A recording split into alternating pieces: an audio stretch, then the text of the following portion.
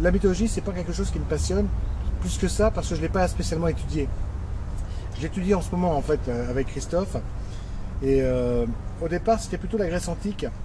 Elle n'était pas exploitée au moment où on y a pensé au départ. Donc on s'est dit qu'il y a un potentiel. Euh, depuis depuis 3-4 ans, c'est vrai qu'il y en a partout maintenant de la mythologie.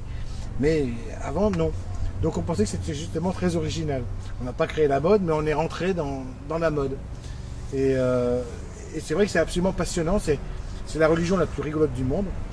Euh, si la religion était restée à la mythologie grecque, je crois que le monde irait beaucoup, beaucoup, beaucoup mieux. Et je suis devenu vraiment euh, religieux, mais de mythologie grecque.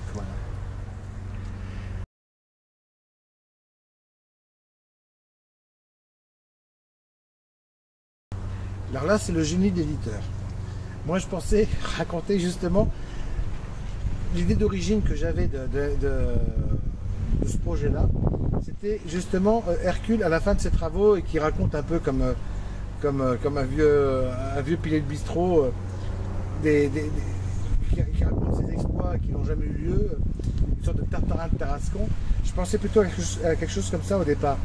Et c'est mon éditeur, donc Olivier Sulpice, qui a eu l'idée des enfants. Mais lui avait une vision plus scolaire des enfants. Les enfants à l'école, les enfants qui apprennent à devenir Dieu et celui qui a fait la synthèse de tout ça, ça a été Christophe, évidemment, qui, l'a préparé et qui m'a apporté après le, paquet euh, parfaitement euh, organisé.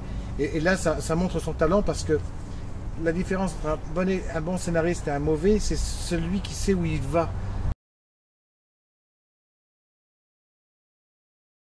Ah bah, de tous les personnages, c'est évidemment Totor, pour, plein de raisons.